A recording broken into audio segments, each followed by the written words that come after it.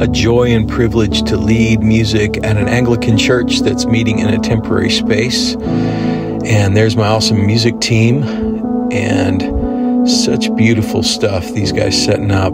Amazing portable church setup, just perfect. And check out these these backgrounds which fold down to take over so you can fit them in the elevator and beautiful baptismal there just an awesome church, so vibrant.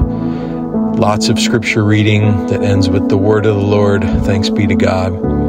Here's some anointing oils and some wine for communion that's low alcohol, FYI. And here's the church gathering, getting ready. Lots of kids in the service.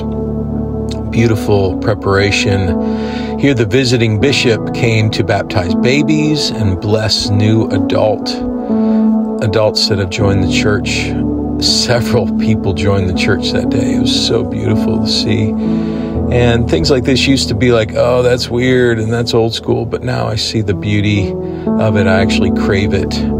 So, such a great morning transforming this ballroom into a sanctuary.